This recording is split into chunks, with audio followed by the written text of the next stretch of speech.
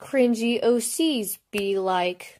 So yeah, I'm a demon, a wolf cat thingy, a princess. I got bullied. My hair is made out of fairy dust.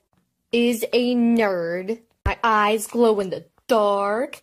And I have this 12 inch scar across my face from getting bullied and stuff. My family abuses me. And my mom is the only one that cared about me.